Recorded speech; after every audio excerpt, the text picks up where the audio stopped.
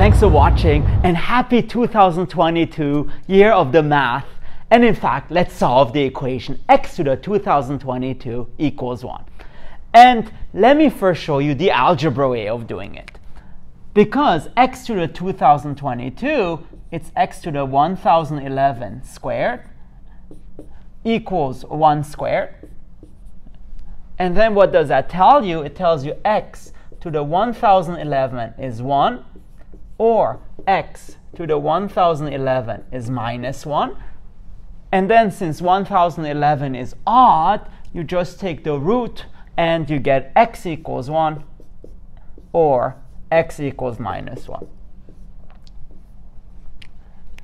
And those are the solutions, and we can go home happy.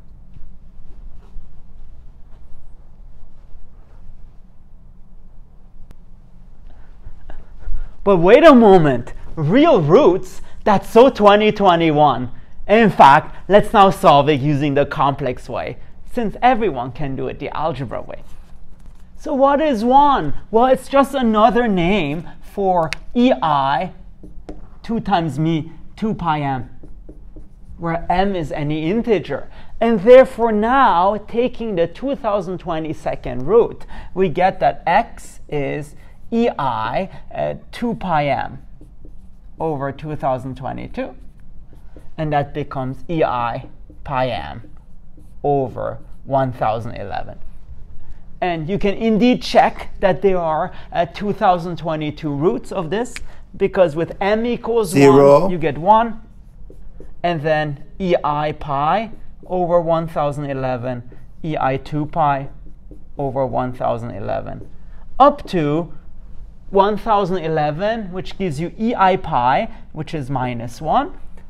And same thing going backwards, E minus pi over 1011, until you get e to the minus, uh, 1011 i pi. And in fact, if you don't believe me, here's some of the more roots.